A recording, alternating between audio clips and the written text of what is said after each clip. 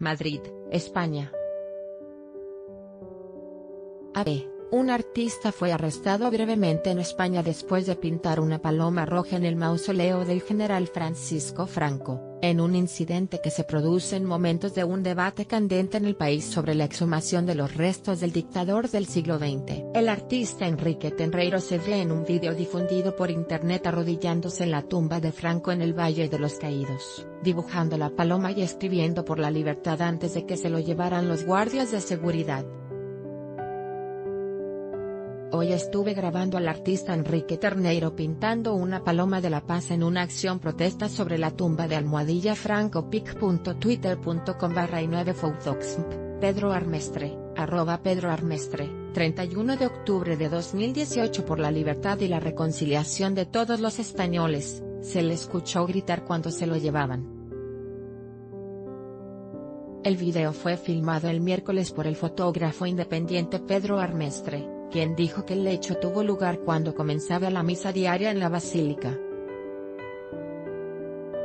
Breve arresto La policía arrestó más adelante a Tenreiro, de acuerdo con una declaración del Patrimonio Nacional de España, que administra el mausoleo donde Franco fue sepultado en 1975. El artista quedó en libertad por la tarde, dijo un ayudante que habló bajo la condición de anonimato.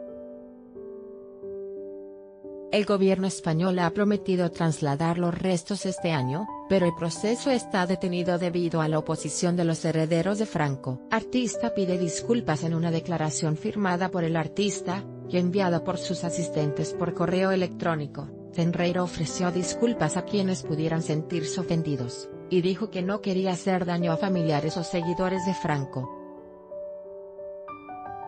El artista dijo que quería crear un espacio por la libertad robada a la generación de sus padres y abuelos, que vivieron bajo la dictadura.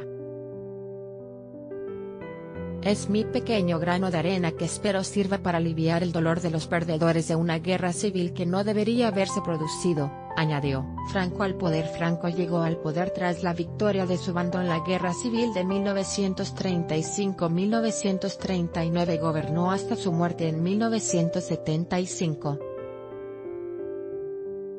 Su régimen suprimió el disenso político, y aisló a España hasta que abrió lentamente su economía en la década de 1960. Se cree también que secuestró a miles de niños.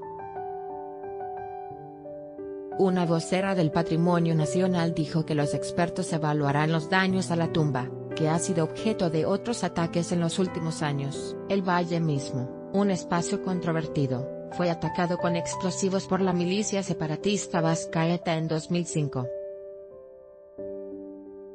Los nueve nietos de Franco han recurrido a la justicia para que los restos del dictador permanezcan donde están o bien se los traslade a la cripta familiar bajo la Catedral de la Almudena en el centro de Madrid. Los partidarios de la exhumación dicen que no se lo puede enterrar en la Almudena porque convertiría la iglesia principal de Madrid en un lugar de enaltecimiento del dictador. El gobierno intenta convencer a los herederos que acepten enterrarlo junto a su esposa en un cementerio en las afueras de Madrid.